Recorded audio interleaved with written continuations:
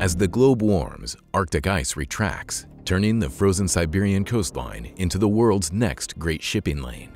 In Showcase Icebreakers, it's up to you to conduct a freedom of navigation operation in one of the most inhospitable climates on Earth, the Arctic Circle. Leading your fleet is the Polar Star, an icebreaker capable of plowing through sheets of sea ice. To defend the Polar Star, you will command surface action groups led by Zumwalt and Arleigh Burke destroyers, some of the most modern and powerful naval vessels in service. Supporting this fleet are Air Force units stationed in Alaska, including the 18th Aggressor Squadron.